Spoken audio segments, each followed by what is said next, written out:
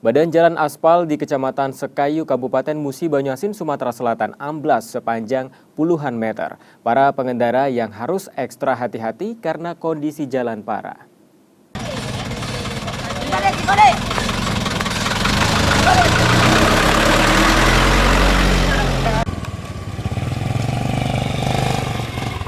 Jalan kecamatan penghubung antara desa di Kecamatan Sekayu, Kabupaten Musi Banyuasin, Sumatera Selatan amblas sepanjang puluhan meter.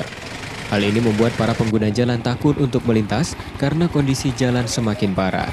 Jalan ini merupakan akses jalan satu-satunya menuju beberapa desa yang setiap hari dilalui oleh warga untuk melakukan aktivitas.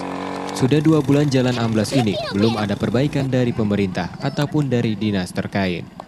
Menurut warga jalan yang mengalami amblas ini akibat hujan dan pasca banjir beberapa waktu lalu.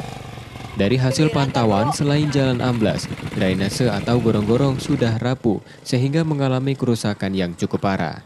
Lah sulit kami. Ini jalan satu-satunya jalan untuk begawe. Nah, takut.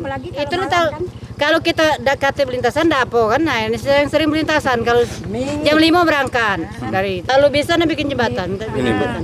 kalau udah bisa gorong-gorong jadi kan? Kalau ini kalau ditimbun-timbun percuma. Ini udah berapa kali ditimbun terjadinya jalan itu akibat uh, settlement pada badan jalan terjadi penurunan akibat bencana alam lah termasuk di bencana alam.